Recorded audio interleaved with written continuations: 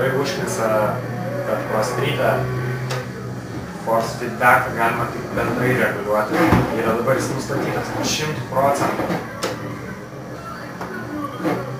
Bet todėl labai sunku pasukti vairą. Ir tas labai užknisa.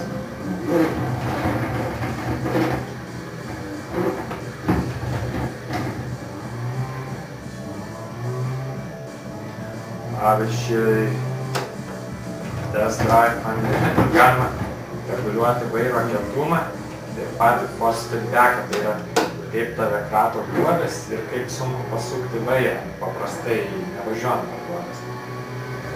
Va čia bendrai iš karto viskas ir na, tas nėra labai patogu, tarkim, aš norėčiau stipresnio force feedbacko, bet tuo pačiu mane užknisa šimtaprocentinis vairo sukimo sunkumas. Jeigu galėčiau nustatyti jos atskirai, būtų daug geriau. Bet prostrytas čia va naujausia versija su visais update'ais, naujausiam mašinom, bet vis tiek to nepalaiko.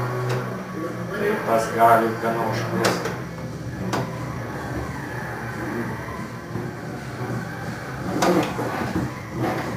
Smagu paspaudi nitro ir tiesiog viskas eina.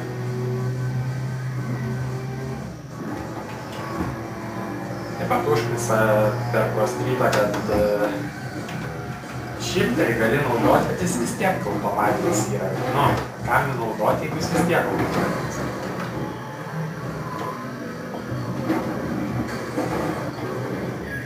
Ar tu perjunginėjai tos bėgius ar ne, tarkim įsijungi šeštą, bet jis tau numeta į penktą. Tai kokia nauda iš to? Galbūt čia dėl tų dar nežėjo opštis, galbūt galima ir susireguliuoti geriau. Bet ką žaidime davė, tai tarkim to neįmanoma išjungti. Kad nebūtų, kad būtų visiškai rankinė greičių dėžė. Pasimažinsiu cost feedback, nes labai sunku aš.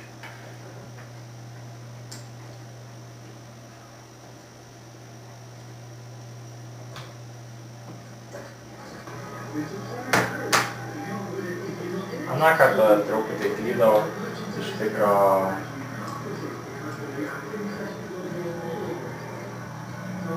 iš tikro galima nustatyti rankinę sankabą ir šitas, kad veiktų kartu su sankaba.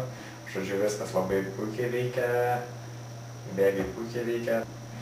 Deja, force feedbacko neradau nustatyti daugiau parametrų, tai yra tas bendras reguliavimas, kuris reguliuoja ir vairo kietumą, ir pasipriešinimą, kas, kas dėja yra nemažas minusas.